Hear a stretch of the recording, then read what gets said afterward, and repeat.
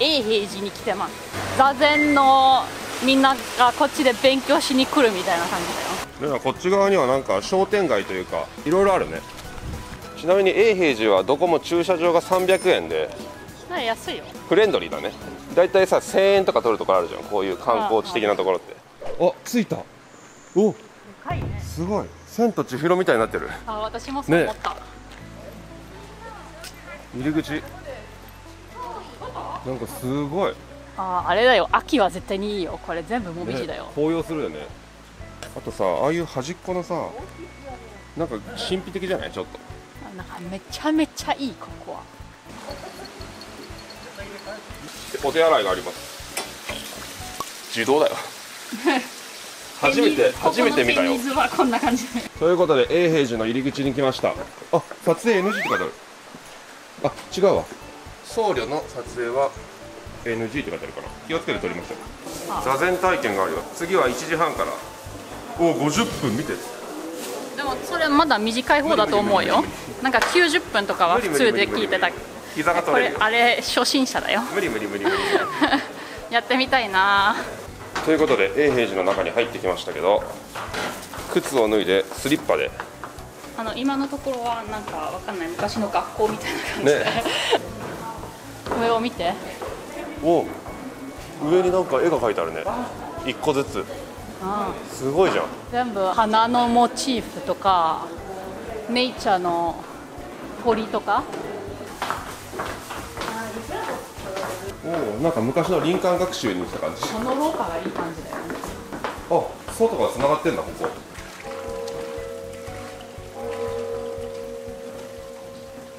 音がめっちゃ綺麗に響き渡ってるね。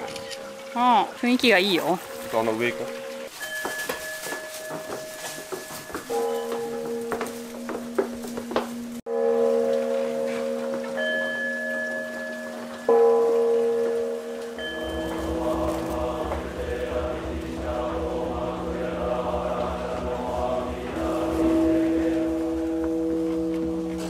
すごいね。今あのお経が始まってあっちの大本堂みたいなところで40人ぐらいでお経を一斉に読んでて雰囲気がすごい。あれめっちゃ好きだよ。そのなんていうみんなが同じリズムでしかもちょっと低重低音のさ いい声してるよ。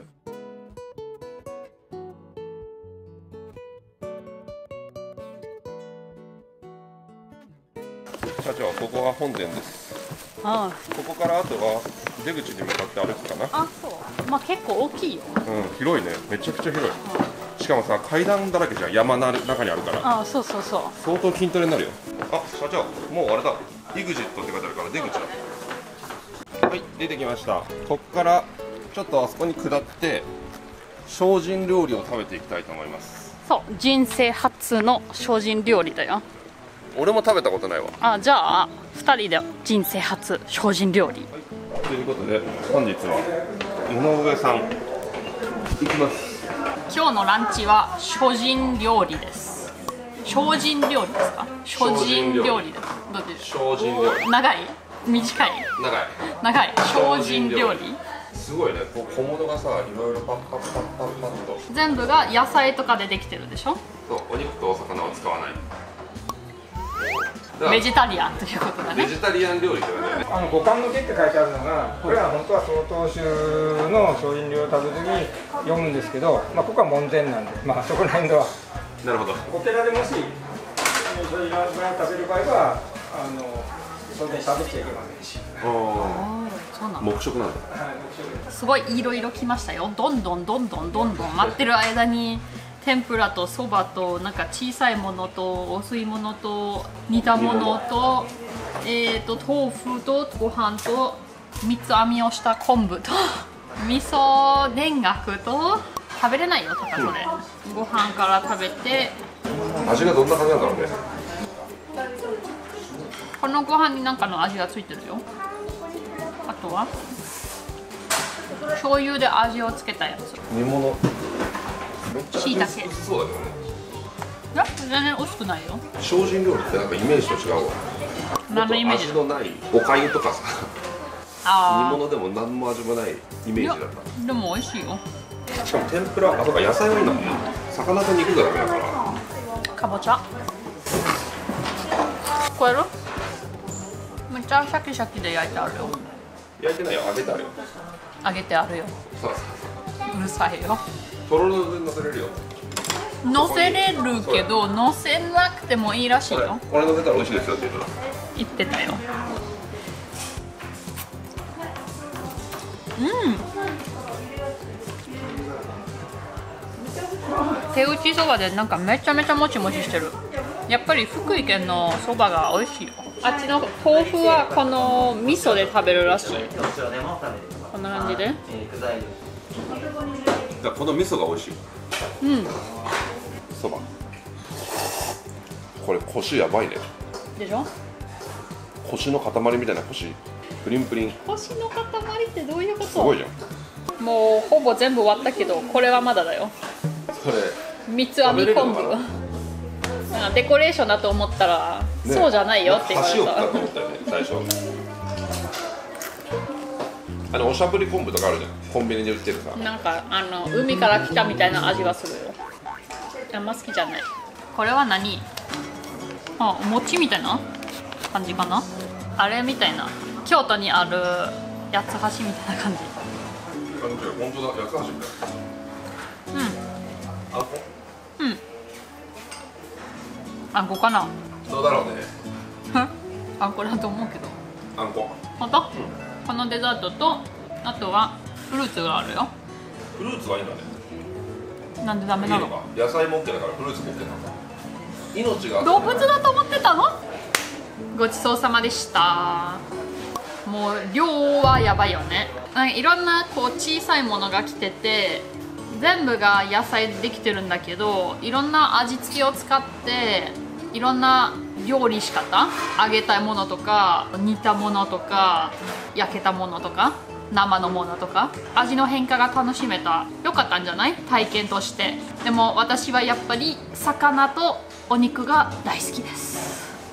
明日からはまたお肉料理魚料理を楽しみにしてます。私はベジタリアンに向いてませんということでお腹いっぱいいただきました。精進料理。食べたね。僧侶の人もさあんないっぱい食べるのかな？あんな食べたらさ動けなくね？おめでたい時に食べるものだよ。僧侶の方のお祝いパーティーがあれってことか。そうだよ。いやー美味しかったしお腹パンパンだし大満足でした。ということでこのまま次はどうでしたっけ？恐竜のミュージアムに行きたいと思います。恐竜？Yes 恐竜だよ。あそうなの？そうだよ。恐竜が有名なの？そうだよ皆さんそうらしいです。初めて知りました僕は。行きましょう。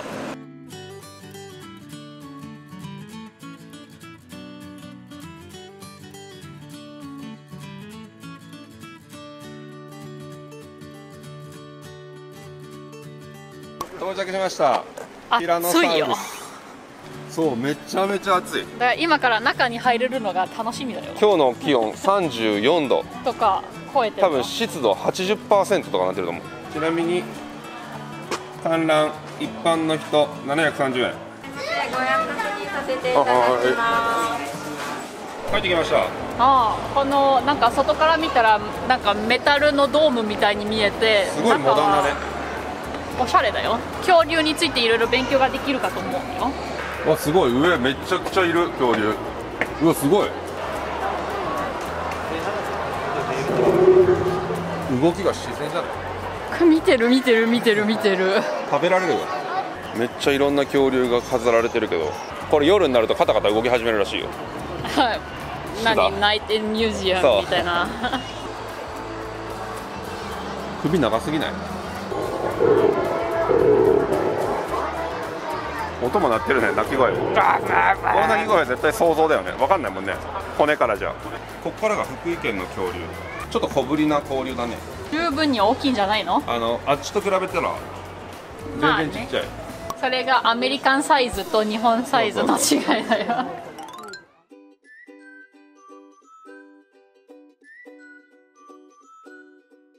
はいデザートタイムです。ここにラブリー牧場？牧場？なんかね牧場直営店って書いてたから多分相当美味しいよ。ソフトクリームしかなくてミルクソフトクリームしかないから。ラブリーコーンだね。いや違うよ。これでしょ。えチョコのチョイスがあるとチョコでしょ？これでしょ？の。人気ナンバーワン基本ソフトクリーム。チョコのチョイスがあるいつも基本が一番美味しいよ。はい。これ私。こっちにしたんだね。でこれはタカだよ。これ。ミルクプリン。うん。美味しい。うん。うん。濃厚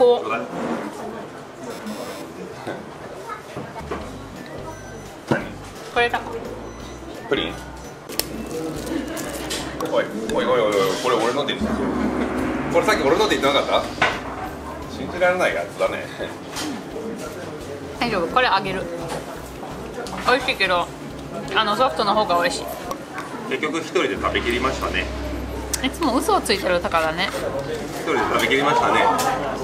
二人で仲良く食べましたね。ごちそうさまでした。はいということで平泉寺にやってきました。今日の最後のスポットですよ。こんばんこんにちは。あー美味しそう。美味しそう美味しそう。最後に、後で飲みます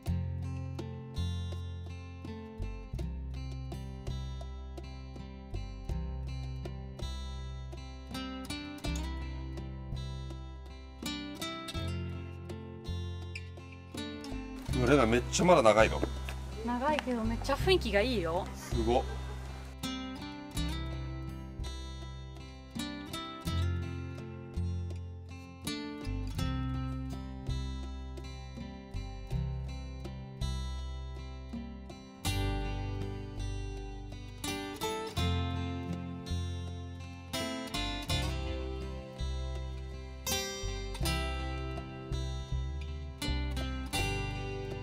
ちなみにここの平泉寺っていうお寺と、うん。昨日行った東尋坊が密接な関係がございます。この平泉寺にいた僧侶が東尋坊っていう名前で他の僧侶から憎まれてて他の僧侶が東尋坊をあの崖から突き落として殺したと。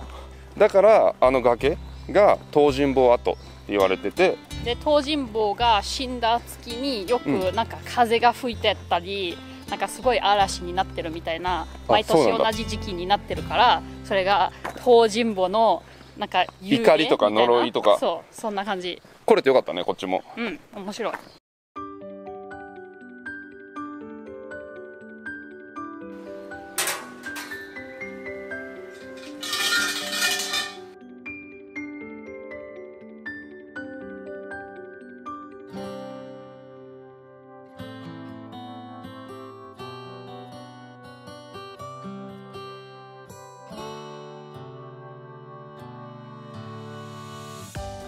見て見える？どこに行きたいか分かってないっぽい。ななんて言うんだろうこれ。むにょんにょんって進んで。大変だね。これさっきから左行って右行って ずっと同じ場所で 繰り返してるだけだよこの子、何やってんの？手伝ってあげようか。あ移動してきたこっちに。すごいね。大変だねこの動き。毎回大変じゃないい？やビューンとえー、ここどこ？私たちは平泉寺からまた降りてきました。福井初めて来たけどめっちゃいろいろよかったね。食べ物も美味しいし、うん。まあ、観光地もめちゃくちゃいっぱいあってふ一泊二日じゃ回りきれないぐらい。そう私たちはあの福井県の北の方しか見てないかそう。らまた今度の旅であの南の方も見たいなとは思いました。ぜひ福井でおすすめの場所があればコメント欄で教えてください。この動画はここで終わりにします。楽しかったならぜひいいねボタン押してください。チャンネル登録もよろしくお願いします。ではまた次の動画でも会いましょうね。バイバイ